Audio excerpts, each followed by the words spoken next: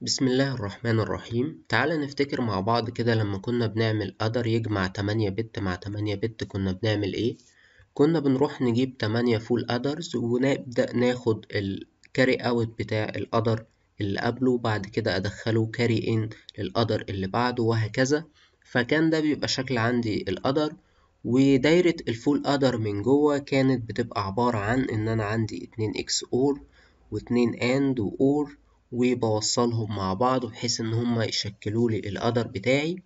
وكنت ممكن بدل ما أستخدم 8 full adders لا أنا كنت ممكن أستخدم 7 full adders وأستخدم الأولاني half adder بحيث إن أنا ما عنديش آه carry يدخله فأنا لو قلت لك اعمل لي الكلام ده بال Verilog فأنت هتقول لي الحل الأولاني إن إحنا خلاص هنبدأ آه آدي معادلة ال sum وآدي معادلة ال carry فأنا هروح أعرف آه، تمن modules والتمن modules اكتب فيهم المعادلات دي.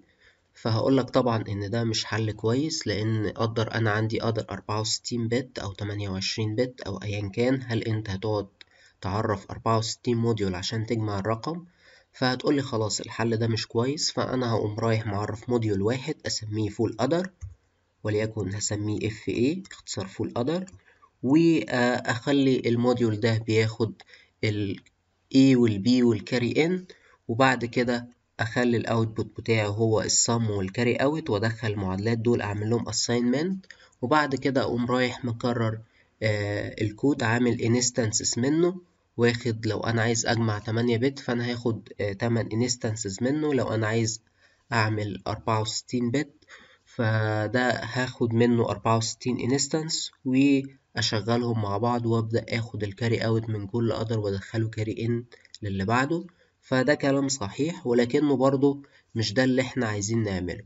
اللي إحنا عايزين نعمله لا الحل الأولاني ولا الحل التاني.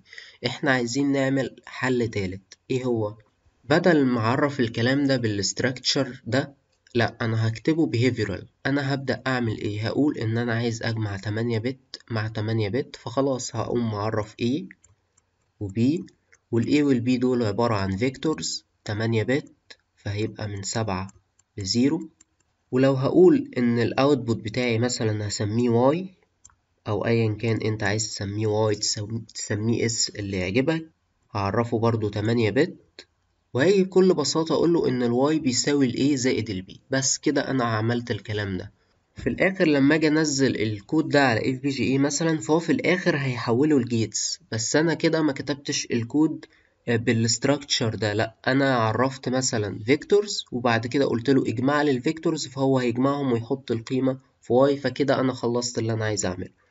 فده الكلام اللي إحنا عايزين نعمله. عايزين نعرف module نسميه مثلا unsigned add 8 اللي هو يعمل unsigned addition ل 8 bit وال inputs بتاعتي هما ال A وال B وهعرفهم على إنهم vectors وال output بتاعي هسميه Y وهعمل assignment ال Y بيساوي A زائد B بكل بساطة. فتعالى نعمل الكلام ده.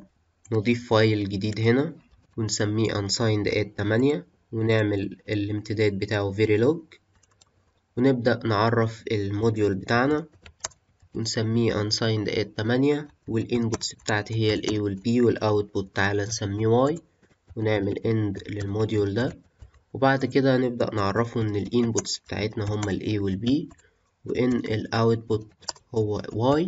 وبعد كده أقوم جاي عامل assign لل Y إن هي بيساوي ال A زائد ال B. كده أنا خلاص عرفت ال module بتاعي. ولكن هنا إحنا غلطنا غلطة كبيرة. إيه هي؟ إن إحنا ما قلنالوش ال size بتاع ال vector ده. فلو أنا عايز أجمع 8 bit كل اللي أنا هعمله هقوم له إن ال size بتاع ال input من 7 ل 0 وال size بتاع ال output من 7 ل 0 الكود ده طبعا لو أنا عايز أخليه يجمع 64 bit كل اللي أنا هاجي أعمله إن أنا هخلي دي 63 ودي 63 وبالتالي هو كده هيجمع 64 bit. فكده الكود سهل وسهل إن أنا أعدل فيه كمان. بس إحنا هنا مهتمين ب 8 bit بس فده هيكون الشكل النهائي للكود بتاعنا. طيب بعد ما عملنا الكود فاحنا بعد كده بنعوز نعمل له compile عشان نشوف هل في أخطاء.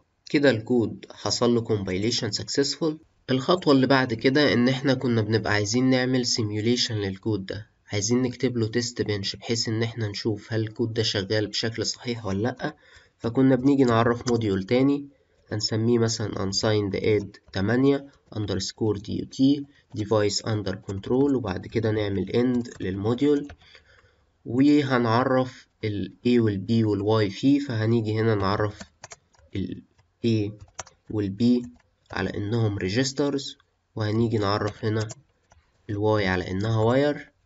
كنت بعرف ال inputs على إنها registers. آه لو أنا هديها قيم في ال initial هعمل لها assignment في ال initial فكنت باجي هنا أقوم عامل initial. وبعد كده initial دي قلنا هيكون عندي أكتر من test case فيها فأقوم بعمل begin. وبعد ما بخلص بقوم دايس end وهنا بقوم كاتب ال test cases بتاعتي.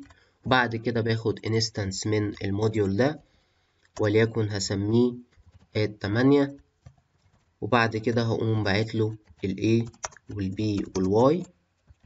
وهنا مفروض أكتب ال test cases بس عشان وقت الفيديو تعالى ناخد ال test cases copy على طول. فهنا عرفت ال module واديته الاسم وبعد كده عرفت ال inputs وال outputs وجوه ال initial بيجين بكتب ال test cases وبعد كده هاخد instance أنا هنا سميتها add وال code ده إحنا قلنا إنه بكتبه في initial begin لو أنا عايز أعرض ال truth table بتاعي فأنا, فأنا هنا هعرض رقم binary زائد رقم باينري بيساوي رقم binary وبعت له ال A وال B وال Y يعني بقول له اعرض لي ال A على إنها binary واعرض لي ال B على إنها binary واعرض لي ال Y على إنها binary بعد كده بعمل tab وبعد كده بقول له back slash أو modulus دي زائد modulus دي بيساوي modulus دي واديته ال A وال B وال Y. يعني بعد كده بقول له اعرض لي ال A وال B وال Y على إنهم أرقام decimal بحيث إن أنا أشوف ال representation بتاعت الرقم ال decimal وفي نفس الوقت أشوف ال binary المكافئ ليها كام. ال test cases هنا تعال نشوف إحنا عاملينها إزاي. عاملين ب... بنقول له ال test cases هنا تعال نشوف إحنا عاملينها إزاي. عم... بنقول له إن ال A بخمسة وال B بتلاتة وبعد كده اعمل delay مية. فلما أقول له إن ال A بخمسة وال B بتلاتة المفروض إن هو يجمع خمسة زائد تلاتة ويرجع لي تمانية. طيب الكلام ده binary هيتعمل إزاي؟ خمسة اللي هي عبارة عن 1 0 1 فأنا عندي هنا هو 1 0 1 والباقي هيكملوا بصفار. بعد كده عايزه يجمع 1 1 اللي هي 3 وهيكمل الباقي بصفار فالناتج هيكون 8 8 بتتمثل بال binary 1 0 0 0 والباقي هيكملوا بصفار فدي ما فيهاش أي مشكلة. بعد كده هنيجي نقول له اجمع لنا 1 1 1 في ال A وال B ب 1 1 1 إيه ده؟ إزاي بقى؟ آه تعالى نفتكر بقى إحنا قلنا إيه. قلنا لما ما بنديلوش ال base فهو بيتع... هيتعامل مع ال 1 1 1 دي على أساس إن هي 111 decimal فهو لما يجي يحولها يحولها ل 111 مش هيحولها لتلات وحايد. لكن لما باجي أقول له 8 comma b تلات وحايد فكده هيقرأ إن دول binary تلات وحايد واللي هما سبعة.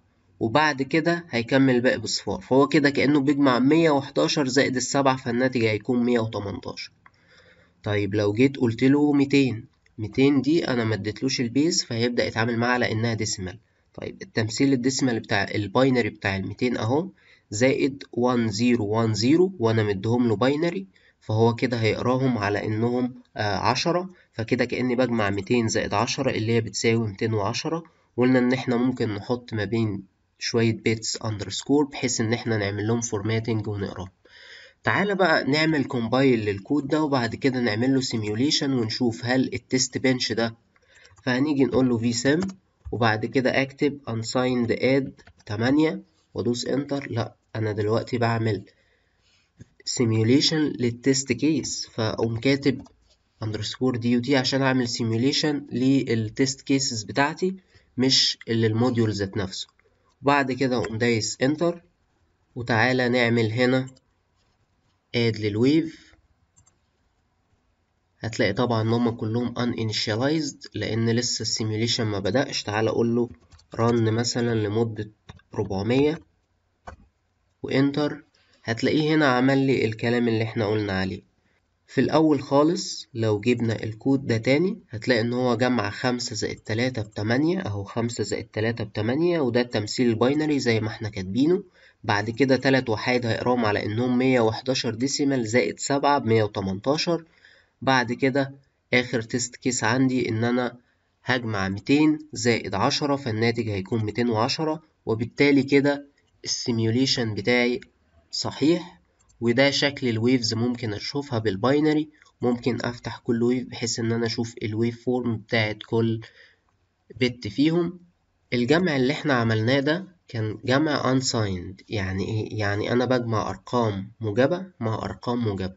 طيب لو أنا عايز أجمع أرقام سالبة مع أرقام سالبة تعالى كده نعمل إيه؟ تعالى نعرف module تاني. امتداده verilog. تعالى نقول signed add 8 تعالى ناخد نفس الكود اللي إحنا كنا عاملينه قبل كده باستثناء حاجات بسيطة خالص. تعالى نغير اسم ال module. إحنا بدل unsigned نخليه signed. وهنغير حاجات بسيطة جدا. تعالى نعمل إيه؟ تعالى نخلي ال input ده نكتب قبل ما نديله ال size signed بحيث ان أنا أقول له ان ال input بتاعي ده signed. ممكن يكون موجب وممكن يكون سالب. نفس الكلام هنا في ال test bench بس كده. وبدل ما ناخد ال instance من unsigned add ناخده من signed add. وبعد كده تعالى نعمل run لل simulation ده. بس خلي بالك إن في حاجات كده هتظهر أخطاء معانا وتعالى نشوف الأخطاء دي سببها إيه. تعالى نعمل compile لل module ده. successful. بعد كده تعالى نعمل simulation لل module. تعالى نعمل add wave تعالى نعمل run لمدة 300 مثلا. تعالى كده نشوف إحنا كنا كاتبين إيه. كنا كاتبين خمسة زائد تلاتة بتمانية. يبقى الكلام ده كلام صحيح. بعد كده مية وحداشر زائد سبعة بمية وتمنتاشر يبقى ده كلام صحيح برضو لكن هنا أنا اديته ميتين. الميتين دي هو قراها على إنها سالب ستة وخمسين مش ميتين. طب ليه هو قراها كده؟ لأن الرقم بتاعي signed أنت عارف إن الرقم بتاعي سواء signed أو unsigned بيبقى ليه range معين. لو هو 8 bit unsigned فالأرقام اللي أقدر أمثلها بتكون من 0 لحد 255 ولكن مع ال signed ال range ده بيتغير.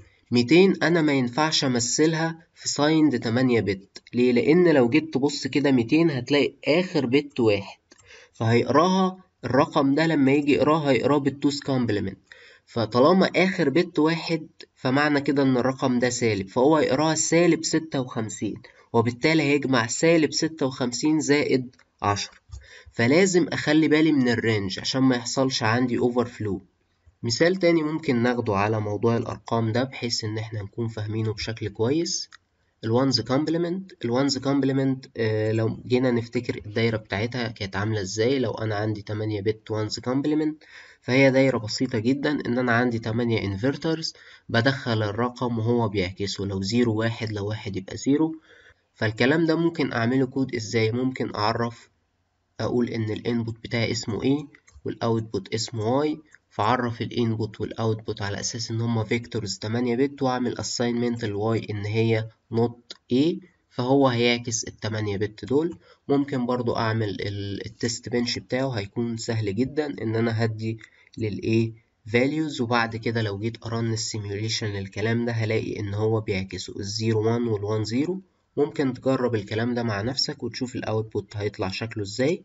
لو تفتكر هنا كنا بنقول modulus b فبيطبع binary لو قلت له modulus d بيطبع decimal فتعالى نشوف كده ال formatting بتاع ال numbers بيكون شكله عامل إزاي. لو أنت تعرف C فأنت أكيد عارف إزاي بتكتب ال format لو قلت له modulus b فده معناه binary modulus o octal modulus d decimal modulus h hexadecimal لو أنا عايز أكتب ASCII string فبتبقى backslash s اللي هو اختصار string اللي هو ال tab فبدوس backslash t لو أنا عايز أنزل line جديد بعمل backslash n لو أنا عايز أطبع ال backslash فأنا بحط قبله backslash بحيث إن ده يبقى escape character لو أنا عايز أطبع علامتين التنصيص بحط قبلها backslash escape character ليها وهكذا. ف function display لو أنا قمت عامل display وبعد كده modulus b modulus b وبعد كده بعت له ال value الأولى وال value التانية فهو هيبدأ يعرضهم على إنهم binary حاجة مكافئة ليها إن أنا ممكن أحط ال format بعد كده الرقم بعد كده ال format بعد كده الرقم التاني. طيب لو أنا جيت عملت حاجة زي كده قلت له modulus b ف format لحاجة واحدة وبعد كده قمت مديله اتنين يطبعهم فده طبعا مش هينفع. وحاجة تانية برضو لو أنا بعتله few values يعني أنا اديته format لتلاتة values وجيت بعد كده اديته اتنين فهو هيديني error في الحالة دي.